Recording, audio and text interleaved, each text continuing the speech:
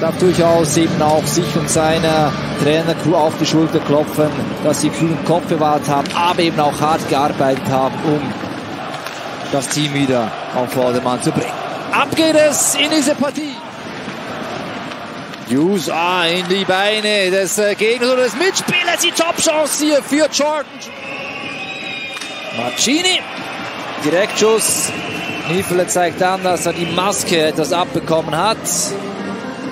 Und deswegen das Zeichen Richtung Schiedsrichter. Ja, wenn es nach ihm gegangen wäre, wäre er schon früher wieder auf dem Eis gestanden. Also bereits vor gut einer Woche. Hier noch einmal zu sehen, dieser Schuss.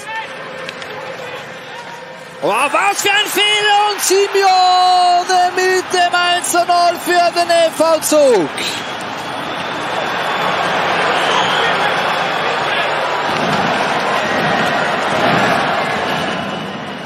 Hallo Aussetzer, hallo Lapsus bei den Lakers. Ganz klarer Bock hier hinter dem Tor passiert. Niffler überlässt Profico. Und der, ja, wo spielt der denn die Scheibe hin? Der will wohl eigentlich irgendwie wetterlos. Also, da ist er schon einigermaßen drin, kann man ruhig sagen. Und hat zuletzt sicherlich auch eben mit dem Team mittrainiert. Und dann auf der anderen Seite der gleiche Fehler eigentlich. Aber Nando Eckeberger schafft es doch tatsächlich, die Scheibe ans Außennetz.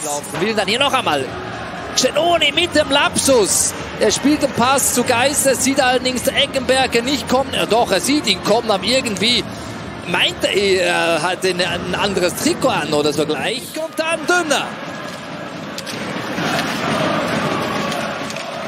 Noch einmal Dünner mit dem Ausgleich.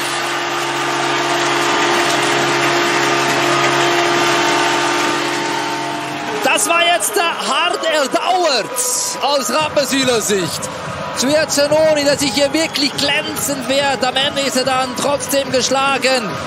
Die Scheibe vors Tor gebracht. Dünner auch bereits mit der zweiten Möglichkeit in dieser Gesamtszene. Mit quasi letzter Kraft hieft er die Scheibe da. Über Cenoni ist beinahe ein Hoffmann, ah, schön nur getankt, Hoffmann! 2 zu 1 für den EVZ.